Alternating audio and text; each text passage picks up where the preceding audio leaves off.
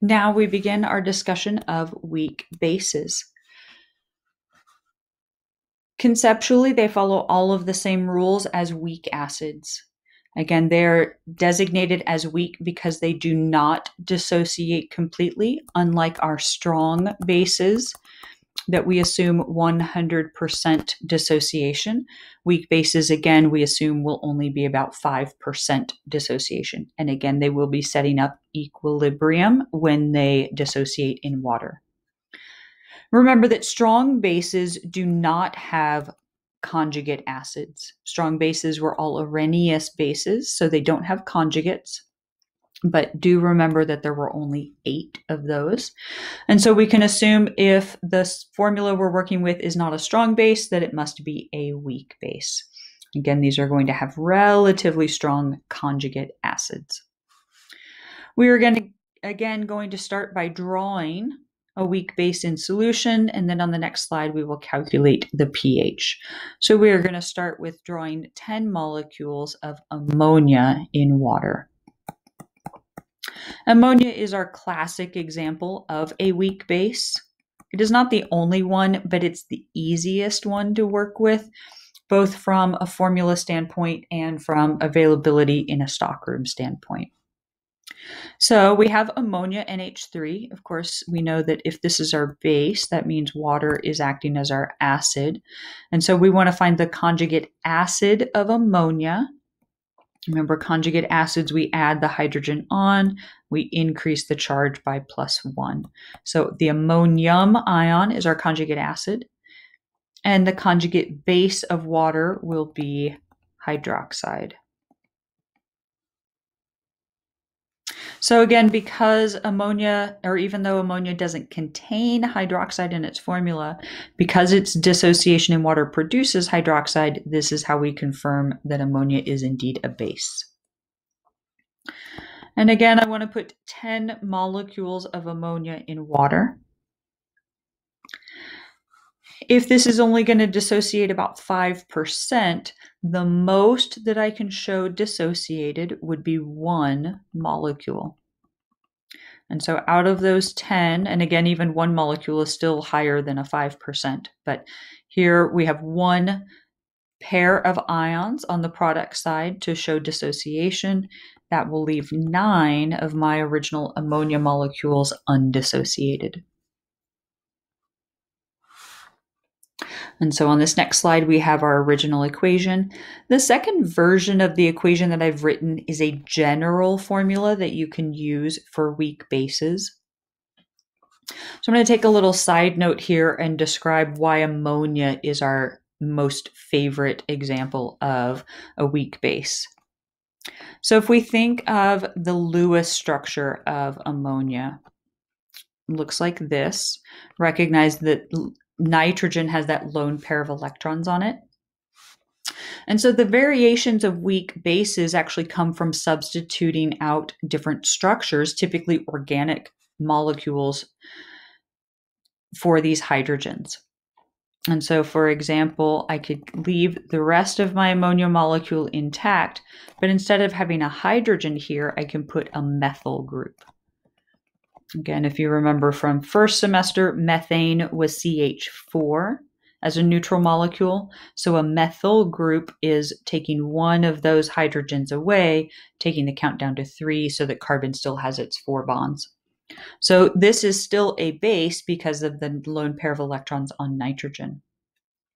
And this molecule could be even longer and more involved. Or another option would be to substitute out another hydrogen in our ammonia molecule. So there's my one methyl group. I'm going to leave that bottom hydrogen in, but what if on my left hydrogen I put another methyl group? This is still a base because the main part of it that's acting as a base is still present. Just so you know, this first molecule is called methylamine. So the methyl group is at CH3. Amine is derived from the fact that it comes from ammonia. So anytime you see the word amine at the end of a name, that means it's derived from ammonia. This last one down here in the bottom would be dimethylamine. The di meaning two, I have two methyl groups on here, but it's still derived from ammonia. So a little little side note for you there. But let's say I give you the name of a, a, weak base. You recognize it's a weak base, you just don't know the formula. You can always use the letter B to represent a base reacting in water, and we still get our conjugate acid and our hydroxide. Now, again, to calculate the pH of this, we again want to set up an ice table because all of our weak substances set up equilibrium. So we're going to show the reaction of ammonia in water, forming the ammonium ion and, of course, hydroxide to recognize that this is a base. Similar to our acetic acid setup, the only quantity we know in the beginning is our initial base concentration. Water won't be included. Our products start at zero. And again, recognize because again, we're only transferring one proton at a time, Everything in our change line is going to change by a value of x. We have coefficients of 1 all the way across, so we're going to get 1x on the change line. And of course, we recognize that our reactant has to decrease, our products have to increase and change by x.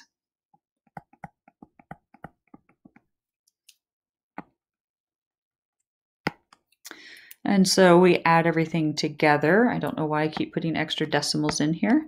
Add everything together to get our change line.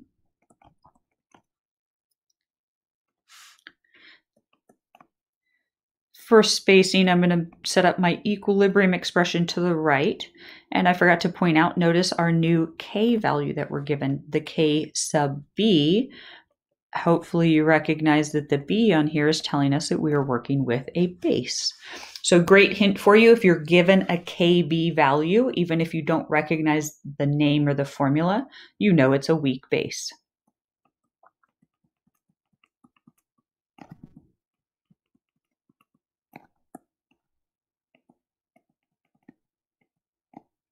So we have our equilibrium expression. We plug in our equilibrium values and set everything equal to the value of our KB.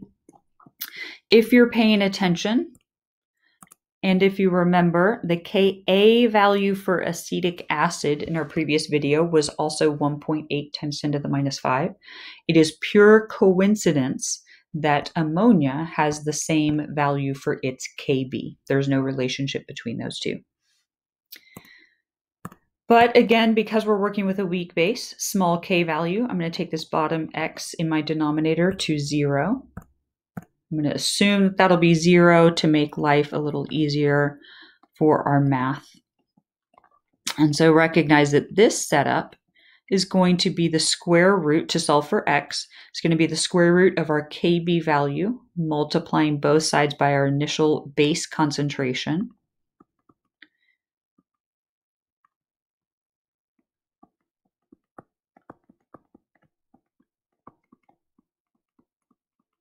And paying attention to your order of operations as you take the square root. It has to be the product of your KB and your initial concentration. So in your calculator, make sure you're using parentheses. So this X value, and again, helpful to note and remind yourself that this is hydroxide because we're working with a base, right? Hydroxide is our X value in our ice table. This comes out to be 8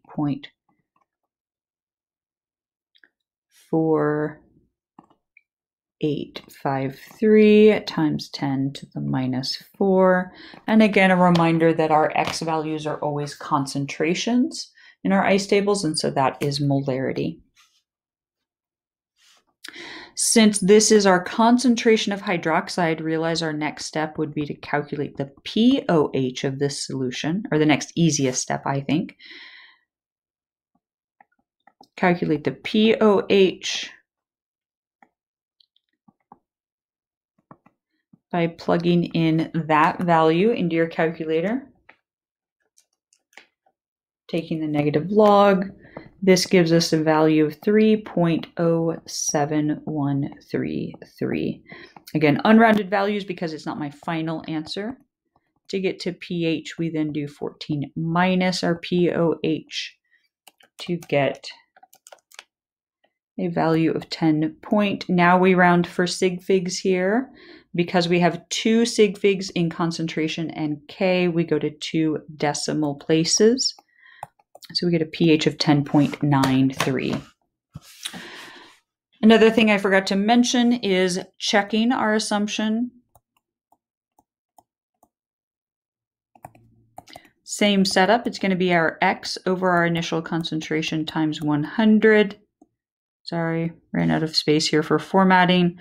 So 8.4853 times 10 to the minus 4 over 0.040 times 100 gives us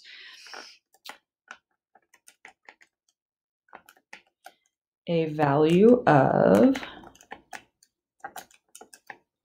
2.1%. So our assumption was good it is always good to get in that habit of checking it before you carry on.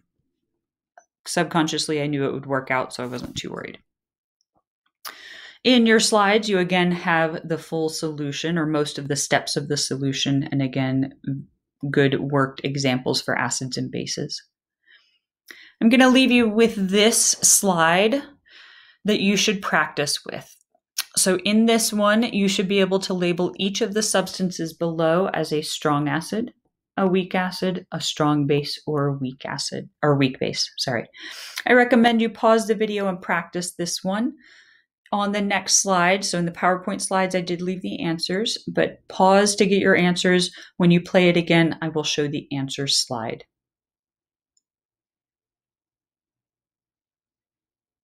Okay, so hopefully you came up with these labels for each substance. Again, the best thing you can do for yourself is being able to identify when you're given a formula what type of substance it is.